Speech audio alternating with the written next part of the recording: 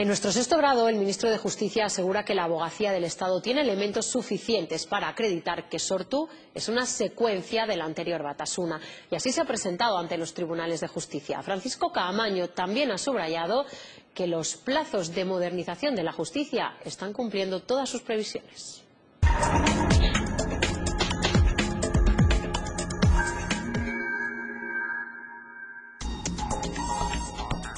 La justicia no puede parar, hay que cambiarla en marcha.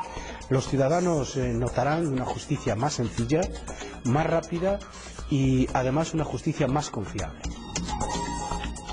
El expediente electrónico es el fin de los legajos y del papel en los tribunales y la tramitación informatizada de los asuntos, pero es también la llegada de los archivos de audio, de los archivos de imágenes y por tanto de una forma también distinta de ver la realidad por los propios jueces a la hora de tener que decidir.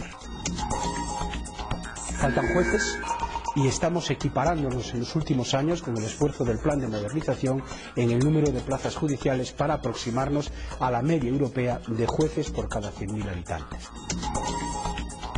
El Partido Popular se empeña en subrayar la existencia de una vara de doble vara de medir en relación con la Fiscalía, pero solo respecto de los delitos de corrupción.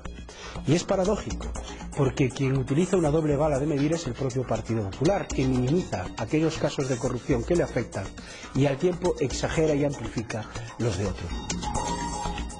Por supuesto, y lo hemos hecho con la reforma del, Código Penal reciente. Con anterioridad a la reforma del Código Penal, no todos los delitos de corrupción llevaban aparejada pena privativa de libertad, es decir, la cárcel. Ahora la llevan todos.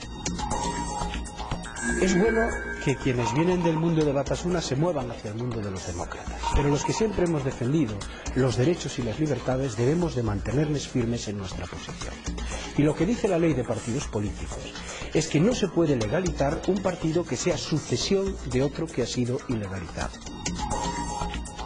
Pues para cuando el PP quiera desbloquearla y no imponer a un candidato, para cuando el Partido Popular asuma que lo que quiere la Constitución para magistrados son personas de consenso. Más de